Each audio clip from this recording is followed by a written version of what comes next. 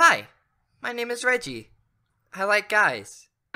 I really like guys. There's just something about them. I like their touch, their smell, their taste. I like to be taken from behind. I like it when they call me cute as they thrust into me, feeling the heat of their breath on the back of my neck.